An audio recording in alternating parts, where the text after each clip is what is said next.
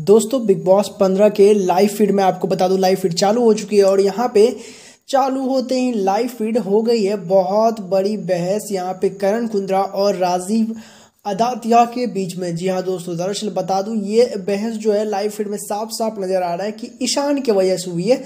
Basic basically जो ये ईशान का और राजीव का जो मैटर है, ये थोड़ा सा ज़्यादा ही अब गहराता जा रहा है। जो भी गेस्ट आज आए हुए, काफ़ी ज़्यादा गेस्ट आपको दिखने वाले हैं, ये भी मैं बता देता हूँ दोस्तों। लाइव फ़ीड से ये मालूम चला कि कामयाब पंजाबी भी घर के अंदर आई, जिसका प्रोमो आपने नहीं देखा है तो वो भी आने वाली है मैं आपको बता दे रहा हूँ।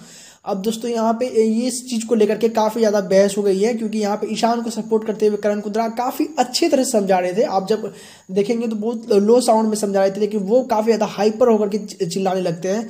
जहाँ पे तेजस्वी भी करण को सपोर्ट करते हुए नज़र आते हैं, उनको बोलते हैं कि शांत रहो और समझने की कोशिश करो। दोस्तों, आपका क्या है कहना कमेंट में बताइएगा? फर्दर अपडेट्स की सब्सक्राइब कर बोलिए देखते रहिए, हंसाते रहिए।